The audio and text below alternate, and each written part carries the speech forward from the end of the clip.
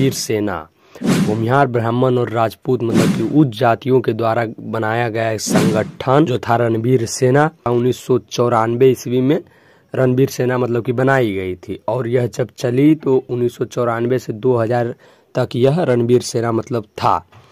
उसके बाद अब नहीं है, बहुत पहले ही इन लोगों के मतलब हत्या कर दी गई जो भी रणवीर सेना में शामिल थे, जो भी लोग उच्च जाति का यह संगठन था।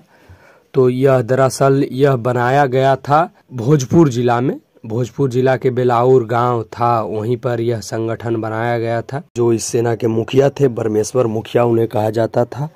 उनकी भी हत्या कर दी गई थी। जिनका जाँच अभी तक नहीं हो पाया कि उनकी हत्या किसने की।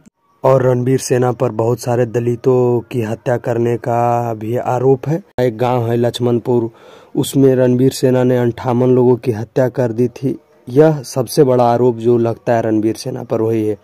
जो मेन मुद्दा रणवीर सेना बनाई क्यों गई थी? क्योंकि जो किसान थे, किसान जो होता है बिहार में, खासकर बाभन भूमिहार, बड़ी जाति के लोग ही होते हैं। तो इन लोगों की खेतों पर कब्जा किया जा रहा था, इन लोगों को डराया, धमकाया जा रहा था, इसलिए रणवीर सेना का गठन मुखिया जी ने किया था, ताकि ऊँची जाति के जो लोग हैं, उनको दबाया कुछ ना जा सके। इसीलिए